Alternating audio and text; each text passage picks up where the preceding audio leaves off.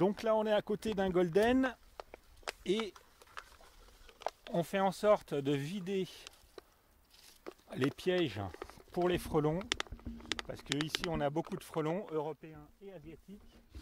Donc on fait un petit mélange sirop et bière et c'est très efficace. Très efficace. Les pommes commencent à être à bonne maturité, donc elles sont sucrées. Donc les frelons les adorent, d'autant plus que on a beaucoup d'oiseaux, des jets, qui viennent nous piquer les pommes. Et donc à partir de là, les frelons euh, continuent le travail. Ce qui fait qu'il faut les éradiquer. Donc voilà, on a 80% de euh, rainettes blanches du Vigan, 20% de golden sur le verger. Et voilà, alors les pommes, évidemment, euh, ça demande beaucoup de soins et d'attention tout au long du cycle végétatif, c'est-à-dire à partir du débourrement du bourgeon fruit, ça c'est en général fin février, début mars, jusqu'à la récolte, voire après pour euh, donc les soins d'automne pour préparer l'hiver. Alors ici donc notre verger, c'est un verger qui continue euh, à être cultivé de manière traditionnelle, c'est-à-dire que l'irrigation se fait toujours en gravitaire au moyen du canal d'irrigation, alors en Cévennes on parle de Béal, qui date de 1846. Alors il est parfois construit en cailloux, parfois creusé dans la roche, parfois creusé tout simplement dans la terre. Voilà, il mesure 1,5 km et donc euh, on fait comme dans plein d'endroits de la planète, c'est-à-dire qu'au au moyen de vannes, on ouvre d'un côté, on ferme de l'autre, et donc c'est simplement la poussée du courant de la rivière qui fait qu'à l'arrivée, l'eau continue. En sortie de Béal, on a euh, un bassin tampon, ça s'appelle une gourde en Cévennes, qui nous permet en cas de forte sécheresse de pouvoir continuer à irriguer, à avoir de l'eau en ouvrant et en fermant la gourde au fur et à mesure. C'est évidemment un système qui permet d'irriguer sans aucune énergie. C'est à mon sens le meilleur des systèmes puisque sur le kilomètre 5 qui est parcouru par le Béal, eh bien évidemment il y a tout un écosystème le long de ce béal, voire dans le béal, puisqu'on a des écrevisses, etc. etc. Donc euh, c'est vraiment, euh, voilà, c'est vraiment quelque chose de très positif concernant la biodiversité. Alors, au verger, donc ça se répartit sur plusieurs parcelles puisque c'est un verger en Cévennes, donc ce sont des petites parcelles. Ici, on a la chance d'être euh, sur une parcelle en bord de rivière, donc c'est un terrain quand même très limoneux fait que euh, on a une, deux, trois, quatre parcelles différentes. La plus grande fait un hectare, la plus petite fait 1500 mètres carrés. Et donc on a en totalité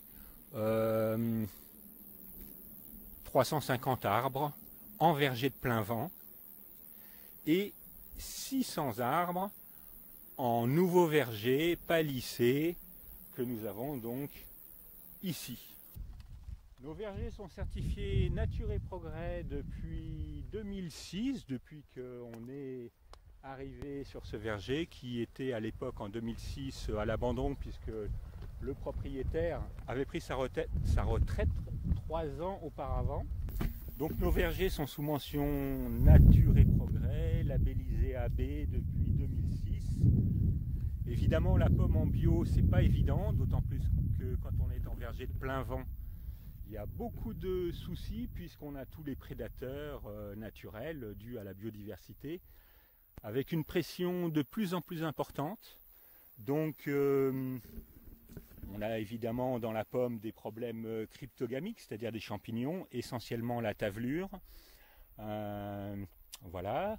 Et aussi, on a beaucoup de prédateurs comme différents vers de la pomme, le carpocaps, euh, la tordeuse de la pelure. Euh, nous avons aussi euh, évidemment les oiseaux, les jets.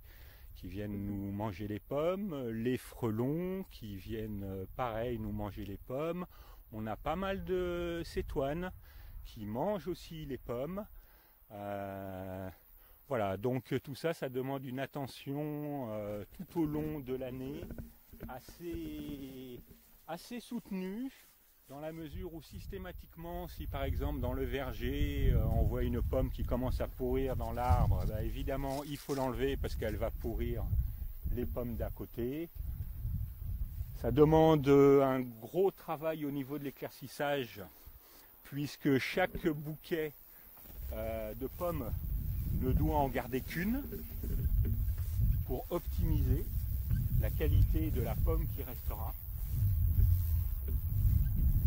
Par rapport à la taille, donc le pommier lui peut être taillé aussi bien en hiver qu'en été. Évidemment, ce ne sont pas les mêmes endroits qui sont taillés selon si le cycle végétatif est au repos ou s'il est en pleine vigueur.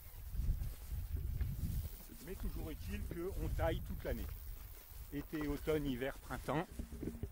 Et c'est d'ailleurs au moyen de cette taille d'été qu'on arrive à réguler l'alternance d'une année sur l'autre. En ce sens que les gourmands de l'année, s'ils sont coupés à un certain endroit, on aura une fleur qui va sortir sur le même cycle végétatif, c'est-à-dire dans le mois suivant. Et cette fleur va nous préparer le bourgeon fruit de l'année prochaine. Donc en fait, on limite l'alternance et on pousse l'arbre à faire du fruit au détriment du bois.